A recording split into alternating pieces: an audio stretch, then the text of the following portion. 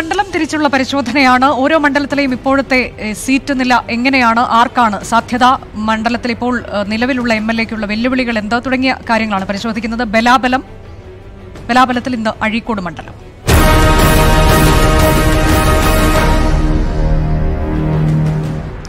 അഴീക്കോട് മണ്ഡലം U D എഫിനൊപ്പം L D എഫിനൊപ്പം ഒക്കെ നിന്ന ചരിത്രമുണ്ട്. നമുക്കറിയാം മുപ്പത് വർഷത്തിന് മുകളിൽ താഴേക്ക് നമ്മൾ പിന്നിലേക്ക് പോവുകയാണെങ്കിൽ M V Raghavan U D എഫിനൊപ്പം നിന്നുകൊണ്ട് അഴീക്കോട് മണ്ഡലം പിടിച്ചെടുത്ത ചരിത്രമുണ്ട്. ഇപ്പോഴത്തെ വ്യവസായ മന്ത്രി പി ജയരാജനെയാണ് അന്ന് അദ്ദേഹം പരാജയപ്പെടുത്തിയത്. പിന്നീട് അദ്ദേഹം അവിടെ പരാ- പരാജയപ്പെടുന്നു. ഇത്തരത്തിലൊക്കെയുള്ള കാഴ്ചകൾ നമ്മൾ കണ്ടിട്ടുണ്ട്. ഒട്ടേറെ കാലം സി പി ഐമിനൊപ്പം നിന്ന മണ്ഡലം കൂടിയാണ് അഴീക്കോട്. ഈ രണ്ടായിരത്തി പതിനാറ് നിയമസഭാ തെരഞ്ഞെടുപ്പിൽ എന്താണ് അഴീക്കോട് സംഭവിച്ചത് എന്നത് നമുക്ക് പരിശോധിക്കാം. രണ്ടായിരത്തി പതിനാറിൽ യു ഡി എഫ് സ്ഥാനാർത്ഥിയായി മത്സരിച്ചത് മുസ്ലിം ലീഗിന്റെ കെ എം ഷാജിയാണ്. എൽ ഡി എഫിന്റെ സ്ഥാനാർത്ഥിയായിരുന്നത് മാധ്യമപ്രവർത്തകൻ എം വി നികേഷ് കുമാർ. ഒപ്പം എൻ ഡി എ സ്ഥാനാർത്ഥിയായത് എ വി കേശവനാണ്.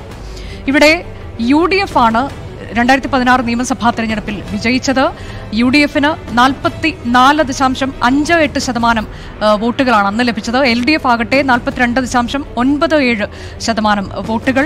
വളരെ ഒരു ചെറിയ മാർജിനിലായിരുന്നു അന്ന് യു ഡി എഫിന്റെ ജയമുണ്ടായത്. എൻ ഡി എക്ക് എട്ട് ദശാംശം എട്ട് ഒൻപത് ശതമാനം വോട്ടുകൾ. യു ഡി എഫിന്റെ ഭൂരിപക്ഷം രണ്ടായിരത്തി ഇരുന്നൂറ്റി എൺപത്തിയേഴ് വോട്ടുകളാണ്. ഇനി രണ്ടാ- രണ്ടായിരത്തി പത്തൊൻപതിലെ ലോക്സഭാ തെരഞ്ഞെടുപ്പ് ഫലം പരിശോധിക്കാം. രണ്ടായിരത്തി പത്തൊൻപത് ലോക്സഭാ തെരഞ്ഞെടുപ്പിൽ യു ഡി എഫിന് അന്ന് ലഭിച്ചത് എഴുപത്തി മൂവായിരത്തി എഴുപത്തി അഞ്ച് വോട്ടുകളാണ്.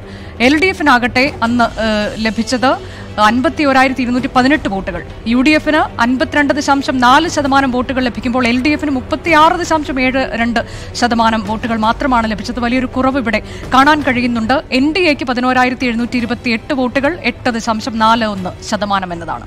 യു ഡി എഫിന്റെ ഭൂരിപക്ഷം ഇരുപത്തി ഓരായിരത്തി എണ്ണൂറ്റി അൻപത്തി ഏഴായി വർദ്ധിക്കുന്നത് നമ്മൾ രണ്ടായിരത്തി പത്തൊൻപതിൽ കണ്ടു.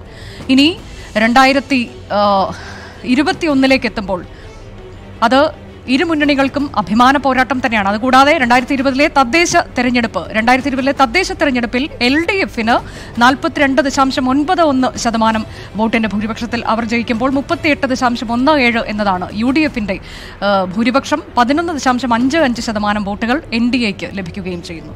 രണ്ടായിരത്തി ഇരുപത്തിയൊന്ന് എന്നത് തീർച്ചയായും ഇരു മുന്നണികൾക്കും അഭിമാന പോരാട്ടം തന്നെയാണ്. അഴീക്കോട് എന്തെല്ലാമാകും നിലവിലെ M L A K M ഷാജിക്ക് വെല്ലുവിളിയാകുന്ന ഘടകങ്ങൾ എന്നതിലേക്ക് കൂടി നമുക്ക് പോകാം.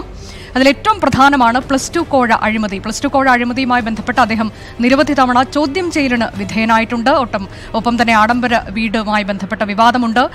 പ്രാദേശികവാദം ഉയർത്തിക്കൊണ്ട് ലീഗിനുള്ളിൽ നിന്ന് തന്നെ ചിലർ അഭിപ്രായ വ്യത്യാസവുമായി രംഗത്തെത്തിയിട്ടുണ്ട് എന്നതും വളരെ പ്രധാനപ്പെട്ട ഒരു കാര്യമാണ്.